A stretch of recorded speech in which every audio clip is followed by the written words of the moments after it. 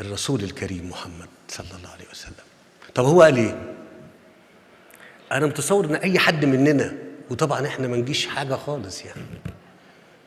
كان ممكن يبقى رد فعله لكن هو قال كلمة جميلة جدا نتعلم منها الكلمة اللي أنا في بدايتها.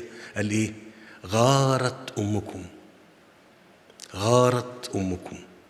يعني بيقول للصحابة والناس المشاهدة الرد اللي أنتوا شفتوه ده والتعامل اللي, اللي ممكن تكونوا مش حاسين إنه فج جدا قال لهم غارت أمكم يعني ده رد فعل لغيرتها يبقى مقبول.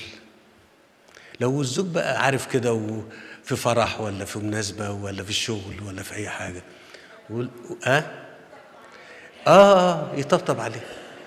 ويخلي باله يعني. يخلي باله.